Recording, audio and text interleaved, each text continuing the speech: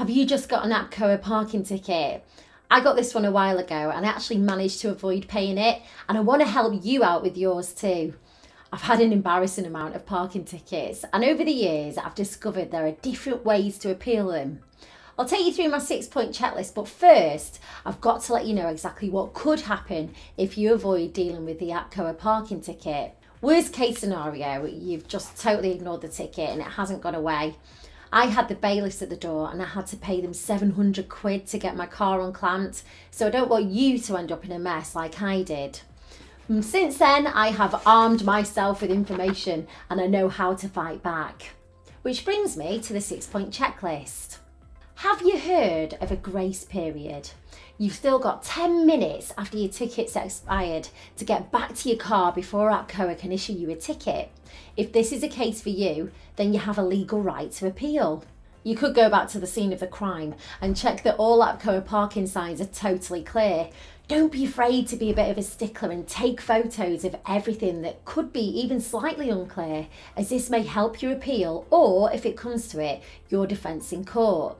Remember, it's APCOA's job to have really clear signs about parking and CCTV, and if anything isn't clear, then it's their fault and not yours. When did your ticket arrive?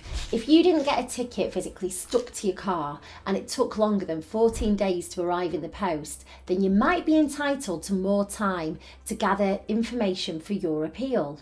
If you can prove that an emergency stopped you from getting to your car, maybe you ended up in hospital or something equally as drastic, then you've got a good chance of APCOA accepting your appeal. It's really unlucky if your car broke down in the car park, rough day, a breakdown, and you get a ticket.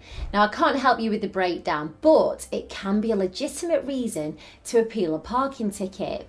You can chat to your breakdown recovery company to provide you with some proof.